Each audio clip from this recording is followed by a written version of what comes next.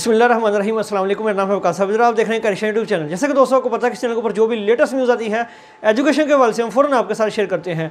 बहुत सारे बच्चे जो हैं, मुझे इंस्टाग्राम आईडी के ऊपर जो है, मैसेज करके पूछ रहे थे कि क्या नाइन्थ और ग्यारहवीं क्लास को प्रमोट किया जा रहा है या प्रमोट कर दिया गया है तो क्योंकि सोशल मीडिया के ऊपर भी बहुत सारी इस तरह की खबरें जो हैं वो फैल चुकी हैं।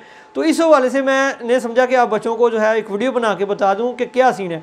सबसे पहले जो है मैं आपको क्लियर बात बता दूँ, बात को सुनने की और समझने की कोशिश करें कि टेंथ क्लास के और बारहवीं क्लास के जो है आपको पता है कि एग्ज़ाम जो है वो शुरू हो चुके हैं और कुछ बोर्ड्स के एग्ज़ाम जो हैं वो हो चुके हैं, कुछ में अभी हो रहे हैं और कुछ के अभी जो है एग्ज़ाम होने हैं। लेकिन अगर हम बात करें ग्यारहवीं क्लास की और नाइन्थ क्लास की शफकर महमूद साहब ने यह बात क्लियर की थी कि अगर एन ने कहा कि बच्चों की सेहत को ख़तरा है तो फिर जो भी हालात होंगे, फिर हम उसके मुताबिक जो है, फिर हम फैसला करेंगे। हम एजुकेशन मिनिस्टर हैं, लिहाजा जो है, हम जो है, फ़िलहाल जो है, हम एग्ज़ाम ले रहे हैं। तो मैं आपको बताना चलूँ कि अगर जो है, जिस तरह कोरोना के केसेस अब बढ़ रहे हैं, अगर हालात मज़ीद ख़राब हो गए वक्त के साथ साथ तो फिर एनसीओसी ने अगर ये बात कह दी कि बच्चों की सेहत को ख़तरा है तो फिर मिनिस्ट्री को जो है, जो एजुकेशन मिनिस्टर है, उनको एग्ज़ाम जो है, ये नाइन्थ क्लास के और ग्यारहवीं क्लास के जो है कैंसिल करने पड़ेंगे।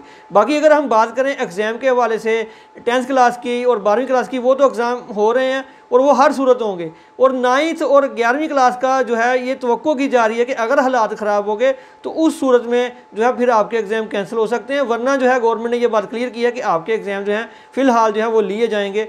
अल्लाह करे कि आपकी दुआएँ जो आपने मांगी हुई हैं वो कबूल हो जाएँ, आप बच्चों को अल्लाह कामयाब करें।